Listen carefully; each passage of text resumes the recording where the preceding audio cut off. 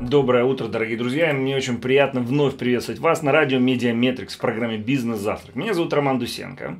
И сегодня у нас будет невероятно интересный разговор, потому что я уже знаю, о чем будет разговор. Мне удалось встретиться с моим спикером за пару дней. И обратили внимание, что я сегодня в черном. Честно говоря, я прям хотел черную рубашку одеть. Дмитрий уже улыбается, и это мое так сказать, это мой траур по нынешнему HR.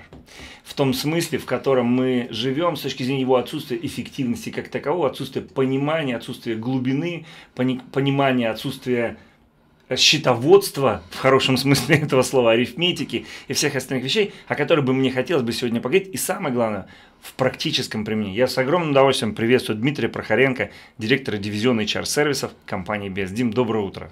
Да, здрасте, Роман. Как-то ты так траурно начал.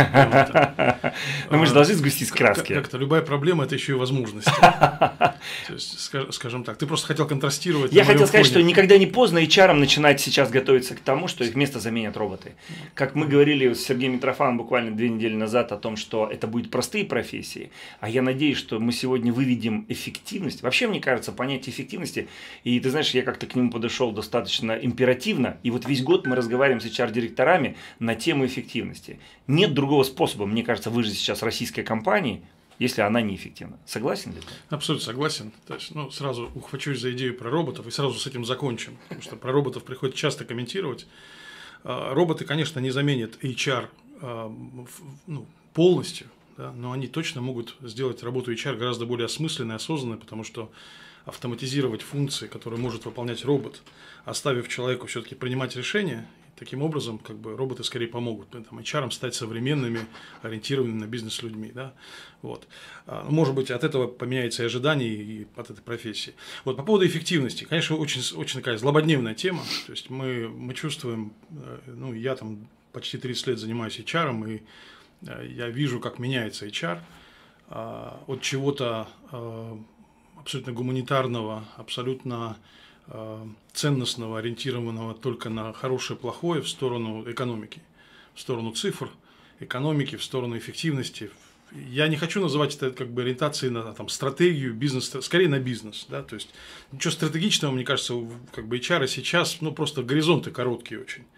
Очень сложно строить какие-то программы и, и, и проекты там, с горизонтом больше, чем 3-4 года невозможно. В то время как HR-функция все-таки достаточно длительная такая. Поэтому будем называть это просто эффективность и какая-то ориентация на бизнес. Вот. Сейчас не ориентироваться на экономику и на, и на бизнес невозможно. И дело не только в расходах, том, как HR управляет расходами, а скорее в том, как можно управлять персоналом гораздо более качественно. Да. Ты знаешь, я как раз именно об этом хотел сказать. И будучи руководителем многие годы, а потом, а до этого я, мы с тобой коллеги, я тоже был HR-директором, я видел некое, знаешь, вот когда ты с генеральным директором или с собственником разговариваешь про тему HR, у них вот такой, знаешь, они начинают морщиться. То есть они понимают, что это надо, а с другой стороны, они понимают, что посчитать, поверить, померить чем-то. Никаких общепринятых показателей нет. Эффективно, эффективно. Он сидит, у него такая банда там этих людей, какие-то рекрутеры, какие-то оценщики, какие-то там люди-развивальщики, какой-то там мотивация, остальное. Как, что? Вроде понимаешь, что нельзя без этого, а уже ну, понимание, почему и сколько это стоит, практически невозможно. Я бы хотел перед этим вот буквально немного разогнаться. Ты сказал, 30 лет в HR. Угу. Это жизнь. Ну, да. Дай какие-то основные характеристики своей карьеры. Как ты вообще попал в HR? Эм, я начинал в, в sales, в продажах. То есть э, в начале 90-х, когда закончил институт, повезло поработать в компании, которая ну, создана для молодых людей, L'Oreal.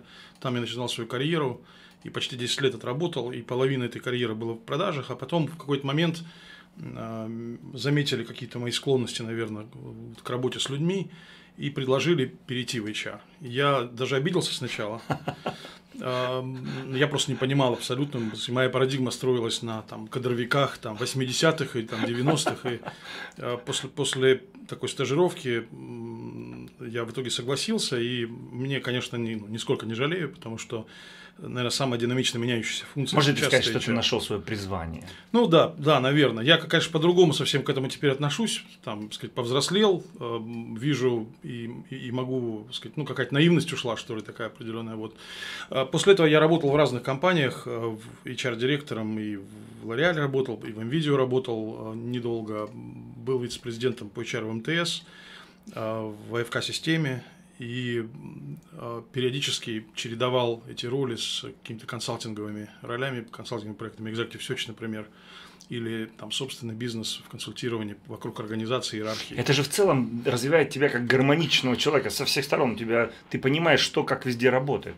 Ну, Помогает? Мне, мне далеко до этого, наверное, до, до гармонии какой-то, но точно абсолютно точно абсолютно это ну, расширяет кругозор, конечно, потому что я, я имею, мне кажется, люди с таким опытом, они имеют разное представление о о том, чего должен делать HR, как, как функция, как бизнес, в принципе, э, э, как он ориентируется на бизнес.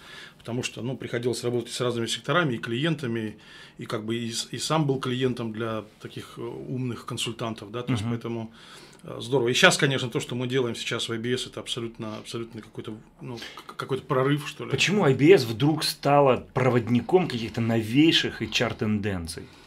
Ну, во-первых, потому что, да, без для тех, кто, может быть, не, не до конца знает э, там, рынок IT, технология IBS – это один из крупнейших системных интеграторов. Компания, которая скоро исполнится 25 лет, вот мы будем отмечать в, летом 25 лет. Компания, которая исторически зарабатывала деньги и продолжает зарабатывать их на, на, на продаже инфраструктуры и приложений, решений, да? да, в основном крупным клиентам.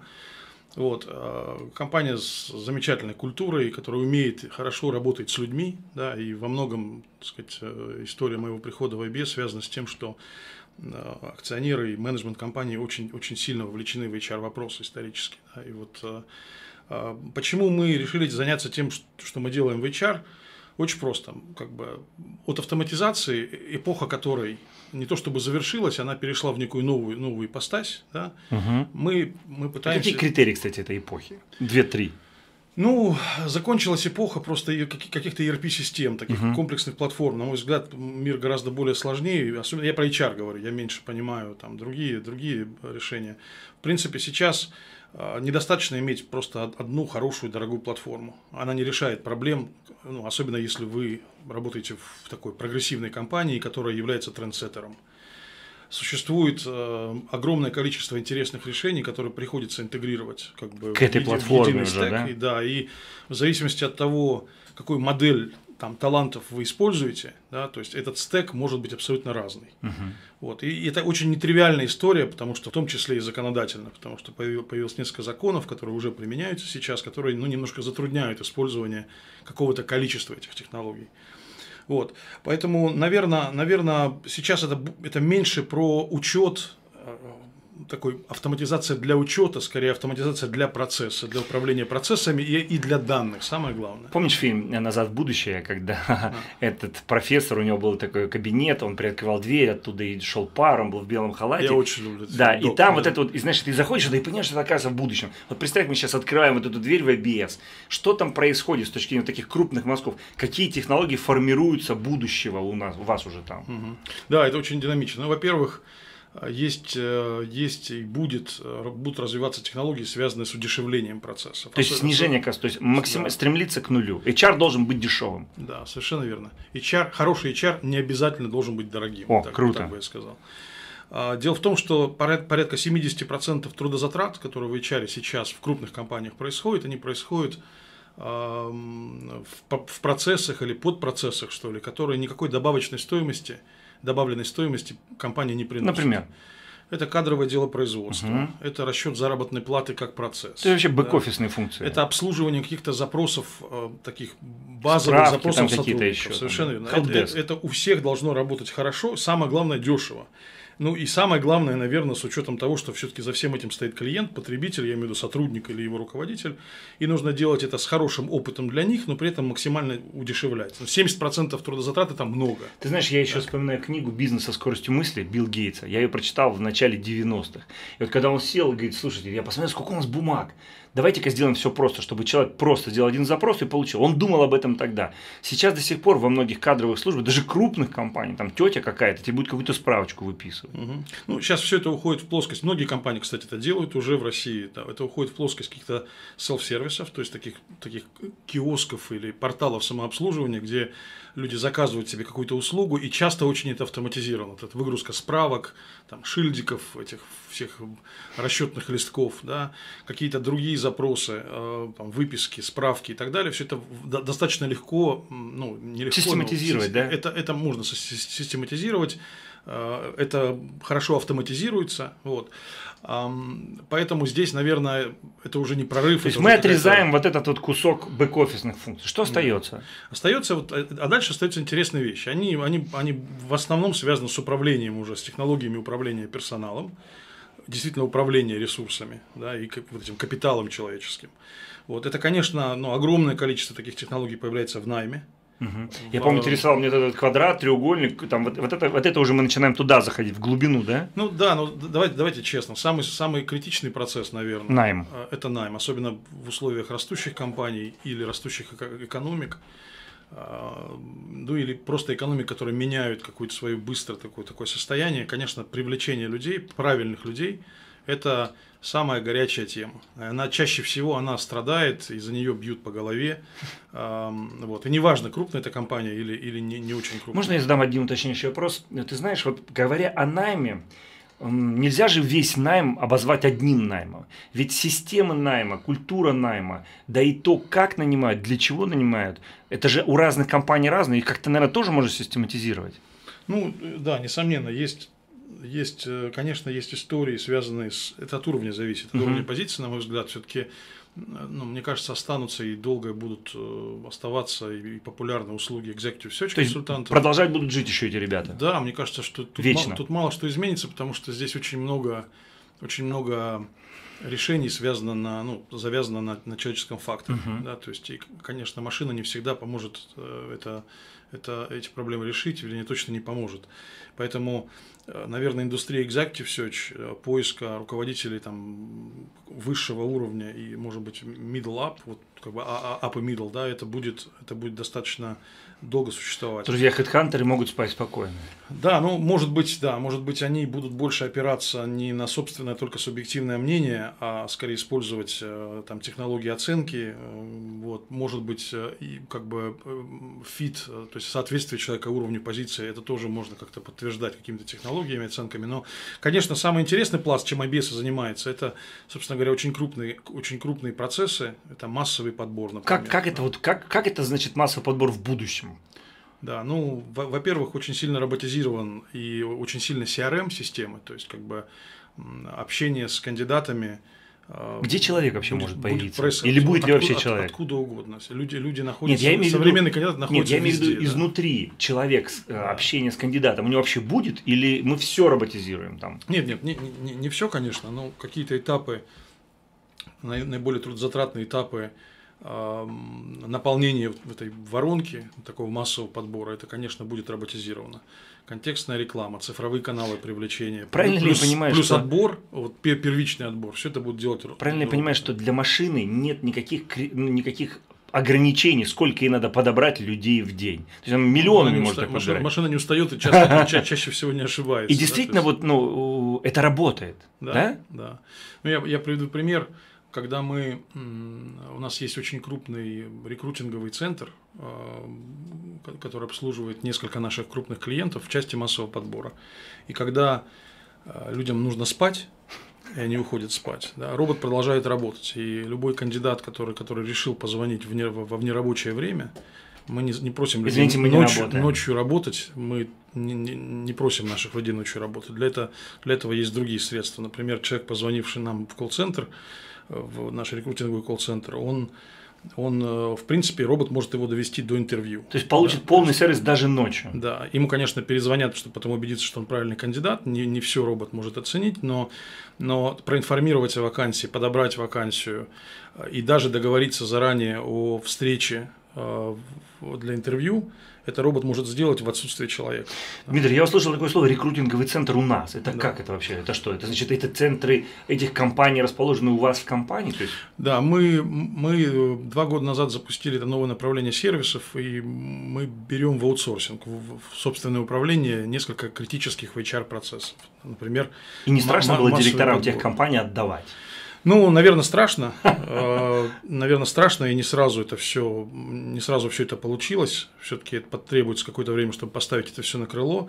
Э, Ну, с другой стороны, если, если есть проблемы, которые сам, которые клиент решить не может, в принципе, в какой-то момент можно поручить компании, которая вызывает доверие, сделать, сделать это. И, ну, на- наверное, это получилось. Вот.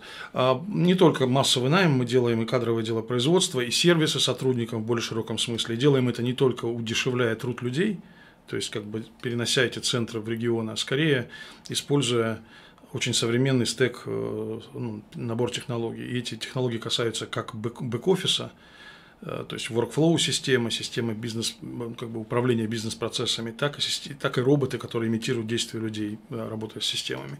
Так и фронтовые технологии, это порталы, это, это мобильные приложения, которые позволяют ну, как бы, получать правильный сервис и там, оценивать его качество самому потребителю этой услуги.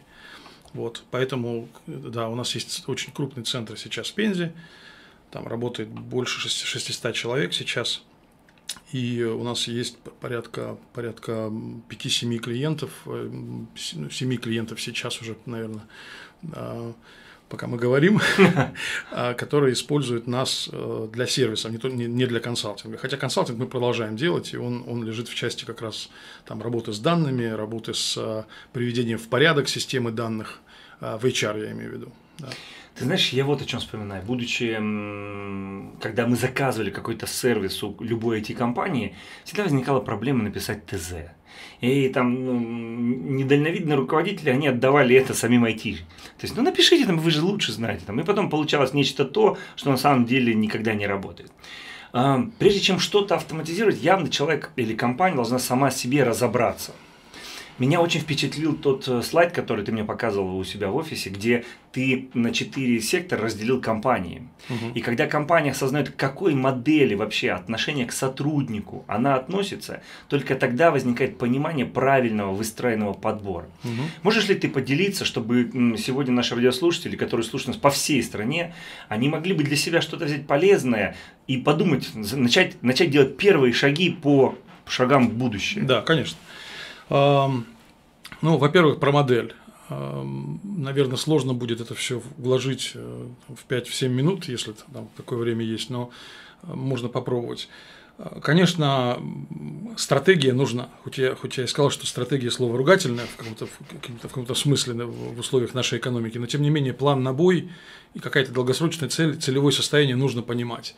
И оно может быть очень разным, это целевое состояние. Компания по своим подходам к управлению людьми могут, может проявлять разные паттерны, разный, п- разные, разный набор процессов для того, чтобы решать, решать задачи бизнеса. Например, компания может производить таланты для рынка. То есть она может работать с выпускниками вузов, например, да, молодыми Это дешевая рабочая сила на входе. Да, и самое главное, быстро обучаемая, которая, которая хочет, хочет и может работать там, продуктивно, не за очень большие деньги. Может, тебе будет легче, если ты эту матрицу там для себя как-то нарисуешь, чтобы да, и мы потом, я потом я выложу фотографию. Ну, ну, давай так, дело Да? даже не в матрице, не в том, Ага. как, это, как это уложено. Тогда я буду следить за твоим ходом Да, в некую структуру. Мгм. То есть, То есть производит таланты для рынка. да, есть компании, которые производят таланты р- для рынка. Соответственно, есть компании, которые скорее приобретают эти таланты. Покупают. И если вакансии появляются, то для ключевых ролей, то компания скорее выстроила процессы приобретения этих талантов на рынке труда. А вот эти линии, они у нас будут критериями чего? То есть скорости, Ну, по, ну по, цене? да, по- если уж совсем матрицу рисовать, то по одной оси у вас будет, по вертикальной оси у вас будет там э, уровень текучести для Мгм. ключевых позиций, да, а по второй оси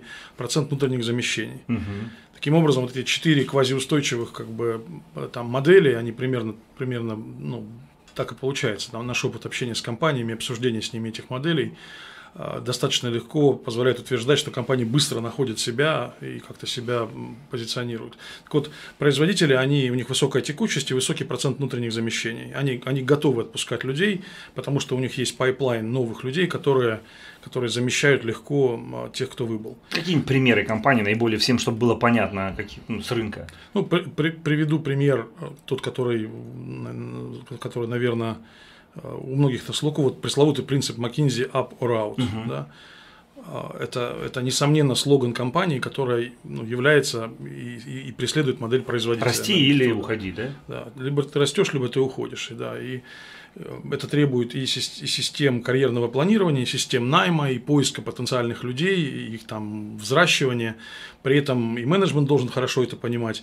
И такие компании не боятся потерять людей, потому что эти люди, они признательны как компании за такой jump start, за такой трамплин в своей карьере, и они а, остаются друзьями и после ухода. И компании-потребители, обратная, обратная там история, они их паттерн это правильно найти, правильно подобрать людей с опытом, встроить их в свою организацию и дальше удерживать максимально, потому что чем дольше эти люди То работают, максимальный процент внутренних замещений, да? Э, наоборот, минимальный процент внутренних замещений и низкий уровень текучести. А, да, ага. То есть как бы как только как только как только появляются да, вакансии, как бы их немного, но как только как они появляются, легче всего их искать снаружи. Дальше есть, э, есть э, такая интересная модель, как, э, как самодостаточные, мы их называем. Это компании, которые, которые нацелены такой на, на длительный найм, ну, такой lifetime employment, uh-huh. да, такой длительный найм. То есть эти, это компании с какими-то большими такими большим фокусом на ценности. История, наверное, на да, историю, на ценности, на, на, на лояльность. Да. Компании, как правило, быстро, не очень быстро растут, им не нужно исключительно хорошие люди, а скорее стабильные ресурсы. Угу. Да? То есть им важно э, эти ресурсы иметь в достатке, поэтому они взращивают их самостоятельно, но они не любят их отпускать. И большинство вот, опыт показывает, что общение с собственниками, с SEO, э, с, с генеральными директорами компаний, которые долго работают в своих организациях, они предпочитают такую модель. Они, на самом деле, они не знают, какая у них модель, но они чувствуют, что она правильная. То есть не отпускать людей э, как бы э, на сторону, то есть как бы для себя их растить. Ну и, наконец, четвертая модель, соответственно, с высоким уровнем текучести и низким уровнем внутренних замещений, это мы их называем трейдеры. Это люди, которые очень рационально, компании, которые очень рационально смотрят на талант, то есть пока он да, дает ценность, талант остается, его, как правило, покупают снаружи, а, самых лучших, самых э, производительных э, менеджеров или сотрудников. При этом, как только э, человек перестает давать результат или заканчивается проект и работы больше нет, сразу от него освобождаются, чтобы нести этот большой высокий кост, который, как бы затраты на таких квалифицированный персонал. Вот эти четыре модели, и они, конечно, очень разные. И они могут э, иногда и пересекаться, да? Они, они не пересекаются, но компании могут использовать ну, две модели. Для разных быть, подразделений. Для разных подразделений, для разных ключевых аудиторий. Это зависит от рынка труда, от, от, от, от, от ценностей, которые в компаниях есть, от того, какие должности создают, какие, ну, какое влияние оказывают на конкурентоспособность компаний. Самое главное, нужно понимать, что у каждой такой модели есть, есть свой набор приоритетных процессов, а, соответственно, свой приоритетный набор технологий, которые компании должны использовать, чтобы победить в конкурентной Первым нужно осознать, где ты. Да, нужно понять целевое состояние, куда вы идете, и поэтому с этого нужно, конечно, начинать. Еще раз, не, не стратегия, но скорее понимать, какая твоя модель является целевой, и какие являются, какие показатели характеризуют твое Что движение для тебя вперед. наиболее важно. Да, да со, со, совершенно верно. Что важно отслеживать? Текучесть, там, продолжительность периода адаптации, или э, дельта там, э, добавленной стоимости э, сотрудника, ее динамика во времени. Вот эти метрики важно HR понимать. Это первый, первое условие. Второе условие, чтобы это все делать правильно, необходимы данные. Эти данные необходимо собирать уже сейчас. Это вот ровно как, там, ну, условно говоря, нужно, нужно мыть руки перед едой. Да? То есть никто не спорит с этим, с этим тезисом. Уже давно никто не болеет, но, но, ну, но не, бывает исключение. Не, не, не болеет, да. То есть, ну, вот там нет, нет чумы, нет, нет больших, больших там эпидемий, но тем не менее люди моют руки перед едой. Вот то же самое необходимо делать с данными. С данными нужно начинать работать сейчас. И эти данные, самое главное, они находятся не только в тех системах, которые HR, HR-директора э, считают э, собственными. Они находятся во всех практически системах, в которых работают, которым касается человек. Это и CRM-системы, это и логистические системы, системы проектного управления, даже Outlook в некотором образом это HR Даже телефон, наверное, если это IP-телефон. Если это IP-телефон, вы можете достаточно легко принимать решения, э, которые касаются HR, основываясь на данных IP-телефонии. Да, Супер. совершенно верно. Супер. Я услышал для себя, для э, ласкающее слово э, добавленная стоимость сотрудника. Это как раз ровно то, наверное, что является сердцем нашей сегодняшней программы. Мне бы хотелось, чтобы ты рассказал о своем представлении, что сотрудник – это капитал, это да. ресурс, который мы на него что-то инвестируем, мы его затрачиваем, он должен приносить прибыль, у него должна быть точка безубыточности. Погрузи нас в это состояние, вот в эти графики, чтобы компании понимали, что с ними происходит. Угу. Ну, как только у вас появилось какое-то целевое состояние модели, значит, вы относитесь к этому ресурсу, к человеческому ресурсу, как к активу, потому что этим нужно управлять расходом, расходом или ресурсом, у которого есть только стоимость, управлять несложно. Есть бюджет, есть расход на него, и как-то его нужно экономить, наверное. А как только вы начинаете замерять и, ну, и, и изучать тему там, эффективности и производительности людей, сравнивать их между собой, то получается, что вы относитесь к человеку как к активу. Это означает, что вы можете предпринимать какие-то расходы, что, которые увеличивают его, его отдачу, uh-huh. ну, например, обучение. Пресловутая тема о том, как считать отдачу э, на, на обучение. Обучение расход или инвестиция? Разумеется, инвестиция. Разумеется, инвестиция. То есть, если я не, не, не беру то обучение, которое касается информирования людей о там, процессах, политиках и так далее, а то, которое направлено на то, чтобы Любое они, повышение. А то, чтобы они выполняли работу качественно, быстрее, лучше и так далее, это, конечно, инвестиции. Потому что за этим, за всем стоит прямой, прямой отдельный вклад. Сравнивая между собой непроизводительных, нерезультативных сотрудников и более результативных сотрудников, и анализируя затраты в обучении, которые вы делаете для тех и для других, вы можете достаточно легко а, провести корреляцию. И вам, необход... вам нет необходимости делать и сравнивать эту добавленную стоимость индивидуально. Да? Вам достаточно, если вы HR-директор, оперировать как бы группами профессий и целевыми аудиториями. И тогда а, выстраивается очень хорошая картинка. Так вот, если вы имеете такую такую целевую модель, если вы имеете данные для того, чтобы для того, и, и процессы работы с данными, которые позволяют принимать решения информированно, то ваш ресурс действительно становится капиталом. Ваше качество диалога с руководителем а, оно повышается в, на порядок, потому что вы перестаете оперировать только терминами хорошо или плохо. Это экономика. Вы можете доказать, почему вы используете сегодня больше бюджет на обучение – вы можете привести цифры, вы можете аргументировать это. И это, то есть, это не только предиктивная аналитика в отношении того. Это уже, наверное, высший порядок предиктивной ну, то есть, аналитики. То есть, это, это появляется некий единый глоссарий в разговоре с бизнесом. Угу. Да? То есть, как бы, этот разговор как раз люди, отвечающие за бизнес, за P&L, они понимают очень хорошо. Вот.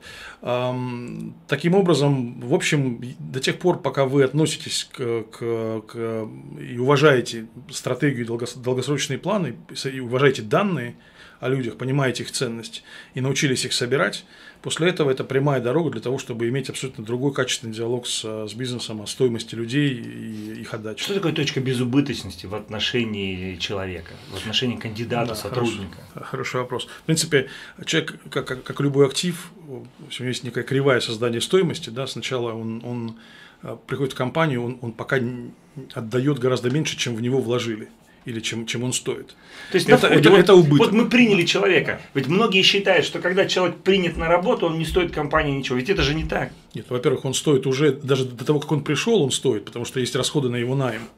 А потом есть расходы и затраты, связанные с, с его обучением. И это не только прямой, прямые затраты на организацию То есть, обучения. Чтобы по-простому сказать, да. в момент прихода человека в компанию, в любую, компания уже с точки зрения этого ресурса она уже понесла, она уже понесла какие-то расходы. Она уже да. расходы понесла. Да. И продолжая его адаптировать, э, принимать на работу, выдавать ему компьютер, тратить время менеджера. Кривая расходов идет стремиться вниз. Да. И вот когда он начинает уже что-то делать, только тогда начинает вот вот опять же, когда расходы, совокупные расходы на него составляют ноль с точки зрения его принесенной прибыли, вот что, как Ров, это все считать? Ровно как и с бизнесом, а, точка безубыточности – это когда совокупность расходов, расходов, она уравнивается доходом, который сотрудник принес. Приносит. Поэтому вопрос о текучести, например, плохая она или хорошая, и называется какой-то процент, он, он в отсутствии каких-то данных какого-то анализа о том, когда наступает эта точка безубыточности, он не имеет большого смысла. Угу. Конечно, можно, можно стремиться интуитивно считать, что, что высокая текучесть это вредно, но не всегда, если удержание людей стоит дорого, дороже, то, возможно, и не стоит с этим Смотри, бороться. какие уникальные вещи мы сегодня с тобой говорим, что вот даже я просто вот многомерное представление. Вот ты сейчас сказал вот такую вещь, которая на самом деле переворачивает вообще представление. Мы говорим, что надо, вот понимаешь, все говорят о том, что вот вместо четырех моделей мы все стараемся упихнуть всех нас в одну модель. Надо удерживать сотрудников, надо делать так, чтобы они развивались. А сколько это стоит? Да? То есть, когда удержание сотрудника, ты сказал, что стоит дороже, привлечение нового, с учетом того, что проработав столько-то, он уже покроет все свои расходы. Угу. Как, как повернуть сознание людей в эту сторону. Только, только замеряет это все, только, только данные. Кто должен быть драйвером вот этой, не знаю, изм... то есть, знаешь, мне сейчас, я вспоминаю э, scientific management угу. господина Тейлора, ведь он же начал все, он просто мерил там, с какой, то есть его результат был, какой глубины лопата дает максимальную эффективность. То есть мы возвращаемся к научному менеджменту. Мы возвращаемся к информированному менеджменту. Да? То есть э, до тех пор, пока вы не можете что-то измерять, вы не можете это контролировать. Да? То есть, и речь идет сейчас о вещах, которые в остальных функциях уже давно делаются. Да? То есть это большая беда. Куда смотреть? Деле. Кто пионер? IT? Это, ну, маркетинг, финансы. Маркетинг, маркетинг финансы. То есть, и на самом деле в HR очень много заимствовано, ну, заимствуется сейчас из маркетинга, потому что, в принципе, э, человек э, и кандидат, и сотрудник, он, э, он испытывает какое-то отношение к тому, что он делает. Да? И это ровно то, что делают потребители услуг или продуктов. А, и поэтому многие вещи HR-брендинг очень хороший, очень хороший пример, когда а, HR-брендинг это абсолютно ну, следующее, следующее продолжение маркетинга в отношении там. Когда директор B2C. слышит э, слова HR-директора, что неплохо было бы увеличить бюджет HR-брендинг, у него начинает нервно подергиваться глаз. Потому что никто не знает, что это дает компании. Угу. Как это все. Вот я тебе задам, знаешь, я сегодня сказал, что траур, да, давай забьем еще один гвоздь туда. Я был поражен, когда ты мне э, сказал, что при э, развитии и подборе человека, при подборе человека существуют не только прямые, но и косвенные затраты. Да. То есть косвенные, те, которых никто даже не задумывается, почему их не... То есть дай просто расскажи, да, что ну, это такое. Это, это примеры жизни на самом деле, потому что когда мы пытаемся э, говорить с клиентом о качестве там, или об эффективности его какого-то процесса, но возьмем тот же самый найм, это хороший пример.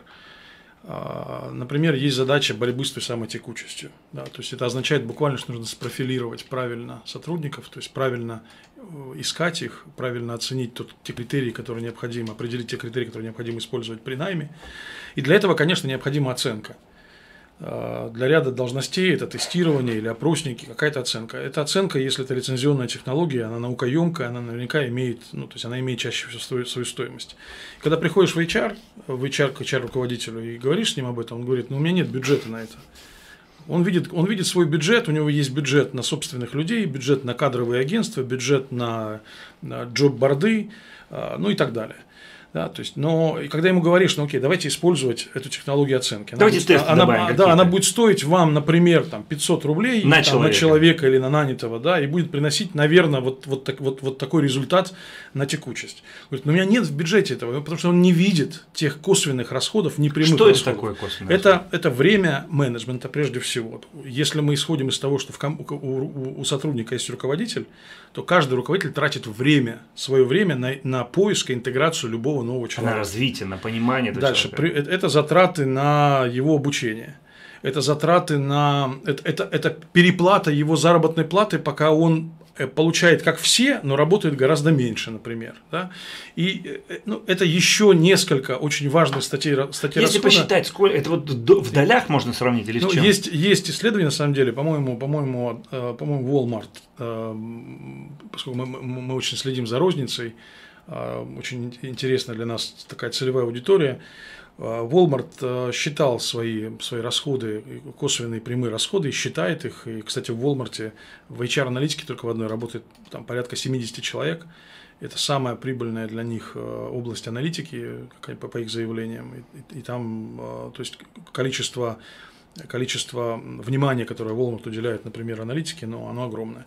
Вот они считали, сколько соотношение, по, по их мнению, соотношение косвенных затрат к прямым, это примерно 1 к 10. То есть, ну, то есть, условно говоря, стоимость, стоимость которая, которая, или, или расходы, которые позволяют сократить на косвенные расходы на найм, то есть вы можете их использовать в, в, в параметре 1 к 10, вы все равно будете выигрывать. Да, то есть... Трансформируй, пожалуйста, в простую рекомендацию людям. Да. Для начала, э, если говорить о, если, если говорить о, о применении этого всего в, конкретно при найме, для начала нужно понимать, профиль сотрудников, которого вы Как обычно это начинается с анализа бизнес-процессов, там... С анализа результативности, не, не с описания должности. Да, да, да. да. Не с описания должности, стабильное не, все... не с разговора с менеджером, какого... Кто нам нужен. Кто нам нужен, да. А скорее посмотреть на, на тех людей, которые сейчас уже работают, какую ценность они приносят и что это за люди. Я бы хотел здесь да. прям вот усилить этот момент. Ты знаешь, на самом деле, вот то, что ты сейчас говоришь, это разрыв шаблона. Разрыв шаблона у людей Вместо того, чтобы... Как происходит формирование вакансии? Там, э, в лучшем случае, скачай такую же вакансию, как в HeadHunter, да? Или там, ну, что там в нашем должностной инструкции написано? А ты говоришь другое. Посмотрите на людей, которые лучше всего работают. Угу. Оцените их, там, сделайте какую-то скоринг-модель простую угу. и берите только таких. Ну, да, да, не всегда это возможно. Самое главное, это не глагол несовершенного вида. То есть это нужно делать всегда, периодически. То есть это не просто один раз определить а нужно выстроить системы, и, системы компания сбора меняется. данных, потому что компания меняется, меняется рынок труда. То есть, ну, с какой-то частотой, ну, хотя бы раз в полгода анализировать а, по самым ключевым аудиториям. Еще раз, я говорю, я говорю сейчас гораздо меньше о топ-менеджерах и о таком ручном найме, да, таком индивидуальном найме. Если у вас есть несколько сотен или даже сотня сотрудников, работников, которые работают в одной профессии стандартной, там уже это можно применять. И нужно применять, и как-то циклично делать это э, достаточно Итак, регулярно. первое. Смотрим на лучших сотрудников, которые работают да, потом, лучше. Да, потом выстраиваете, выстраиваете ваши, ваши процессы найма так, чтобы не пускать в эту воронку тех людей, которые существенно отличаются от этого профиля, при условии, что рынок этого позволяет. Да. Не всегда а, ваше желание соответствует с возможностями рынка. Ваше зарплатное предложение может быть не компетитив. Это, это, это другая история. То есть, но замеряя, постоянно замеряя как бы и свои затраты на привлечение людей, и качество этого найма, а, и делая и создавая систему мотивации для рекрутеров не только на прохождение испытательного срока – а на то, насколько нанятые люди, они увеличили общую производительность, например. Все это можно достаточно легко применить, а, и самое главное потом дисциплинированно следовать этому принципу в какое-то время, чтобы делать выводы. Да? То есть, ну, примерно так. Ничего, ничего, no-brainer, ничего, ничего особенного. Кстати, многие компании это делают все-таки. То есть, сказать, что этого не делает никто на рынке, что это абсолютный прорыв – такого нет. Конечно, в, общей своей массе люди по-прежнему стандартно себя ведут, но компании, которые э, считают деньги, у которых есть, есть э, ну, правильный запрос от бизнеса, они, они вынуждены это делать уже сейчас. Давай такими крупными мазками пробежимся по тем еще функциям, которые в нашей лаборатории, вот мы в перчатках, в этих белых халатах, в шлемах, что еще там рождается сейчас? Ну, слушайте, в, в HR очень много чего меняется. Во-первых, меняется отношение, ну, с приходом новых поколений людей, а, меняется, меняется вообще многие постулаты, которые ну, такие были священными коровами. Да. Во-первых, HR-системы, HR-IT-системы, они стали гораздо более ориентированы на, на самих сотрудников, их руководителей, чем на специалистов. Когда, когда если 10 лет назад еще вы делали, вы делали заказ на автоматизацию, то вы выставляли перед IT-консультантами как бы профессионалов, которые, которые заказывали систему под себя. Еще, да. Да. Сейчас все системы ориентированы на, на активную работу в них самих сотрудников. Это отчасти связано с тем, что в нашу жизнь пришли мобильные приложения, смартфоны, и мы очень легко теперь работаем с технологиями, да, а, и они, это переносится все и в профессиональную среду. Отчасти это связано с тем, что появились люди, которые ожидают, я имею в виду эти самые новые поколения, которые на «ты» с технологиями, и они требуют просто ну, как бы управлять ими, используя, используя старые, старые подходы, они, это, это не очень эффективно. Вот. А, и сам, а, ну, сам принцип, сам, сам скорость, скорость и, и скорость принятия решений и частота замеров, которые там, и каких-то интервенций, которые делают HR, это уходит от чего-то цикличного раз в год в сторону uh-huh. какого-то постоянного сбора данных, постоянной оценки. Очень хорошая история с, ну, две темы, наверное, самые горячие, самые интересные. Это все, что касается управления результативностью, то есть это уходит из истории там, ежегодной оценки а, в, в историю скорее многократных регулярных замеров а, поведения людей в организации, не обязательно КПЭ, не обязательно тех результатов а, цифруемых, которые люди достигают, а скорее то, какие действия они совершают.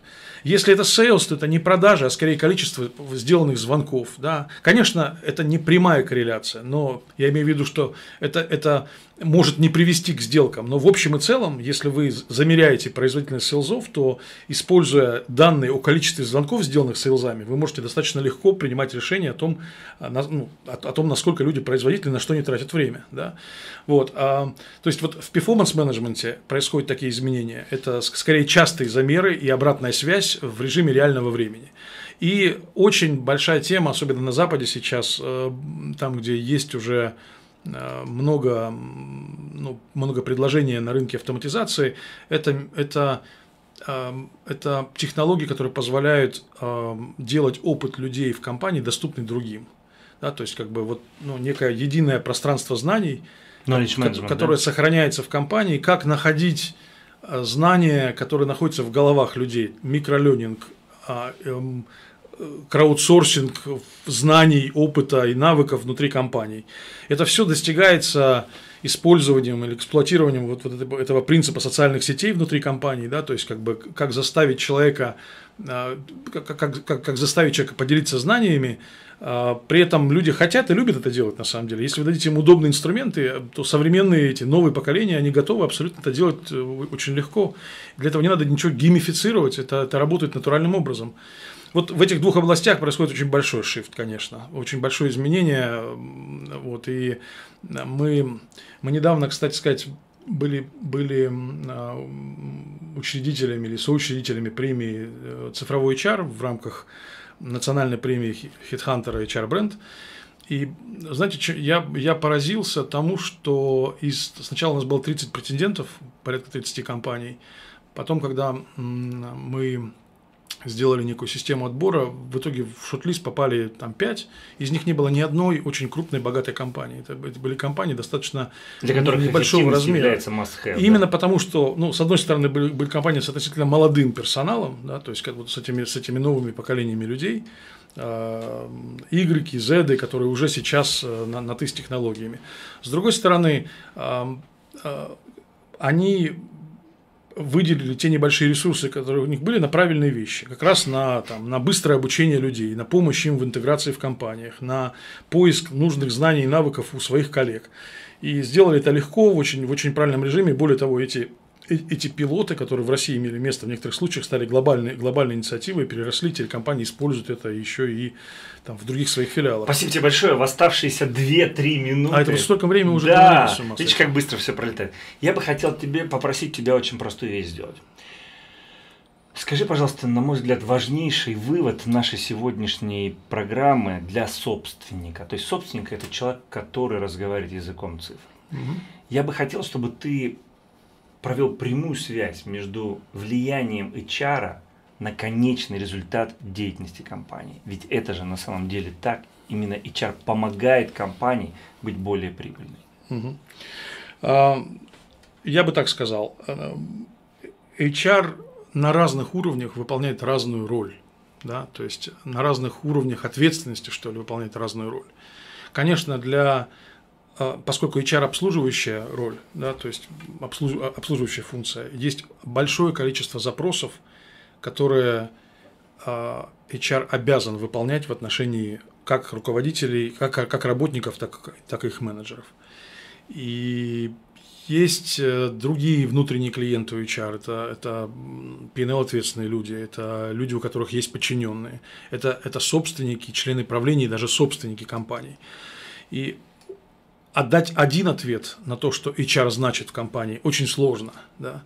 Но абсолютно точно надо понимать, что HR ориентирован и должен иметь своего клиента, да, то есть и правильно очень выстраивать организации под клиента. HR-организация под внутреннего клиента. Это на каком-то уровне будет SEO или там акционер, на каком-то уровне будет P&L ответственные руководители, на каком-то уровне это будут менеджеры, которые имеют подчиненных, и даже, и даже сотрудники, такая некая многоуровневая система. Это очень важно понимать. Если говорить о том HR современном, который управляет капиталом, то, конечно, это управление экономикой труда и есть та самая большая ценность, которую дает HR. Что все остальное, на самом деле, все HR-процессы, скорее всего, это удел линейных менеджеров сейчас. Уже все понимают, что э, HR создает инструменты, которые потом используют там, руководители. С этим уже никто не спорит. Время э, э, консильери, HR в консильери, которые, которые советуют руководителям о том, что и как им делать в HR, оно не то чтобы совсем ушло, но оно смещается в сторону систем, процессов, которые внедряют люди для линейного менеджмента. Вот. Большое тебе спасибо, я получил истинное удовольствие. Я надеюсь, что наши зрители задумаются о том, что же все такое, что же все-таки такое данные и как на основании этих данных необходимо строить систему управления. Самый последний вопрос в оставшиеся там 10 секунд. Что для тебя значит данные и ты используешь это в своей жизни? Да, мы, да, я, я, я это использую регулярно как потребитель теперь. Ну, реально. То есть я каждый день загружаю несколько приложений, где собираются данные обо мне, и я больше, более того, э, сам принимаю решения. Прежде всего в области финансов, потому что финансов не хватает личных, но э, не, не только там. И мы, конечно, пытаемся очень активно у себя, у себя в компании, в моем дивизионе использовать, использовать данные. И как, как при найме, так и при управлении другими процессами. И стек технологий, которые мы используем, собственных и лицензионных, он растет с каждым, ну, с каждым, с каждым месяцем, я бы сказал даже. Да, вот. Спасибо большое, уважаемые радиослушатели. С нами был Дмитрий Прохоренко, директор дивизиона HR-сервисов компании BS. Будьте к нему готовы. До следующей встречи. Пока.